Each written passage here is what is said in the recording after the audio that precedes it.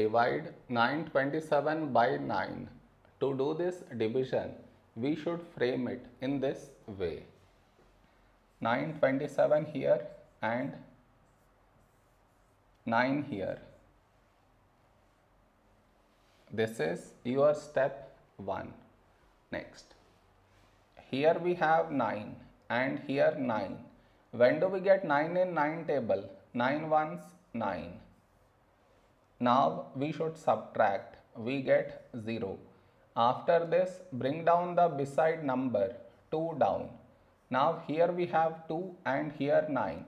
2 is smaller than 9. So we should bring down the second number.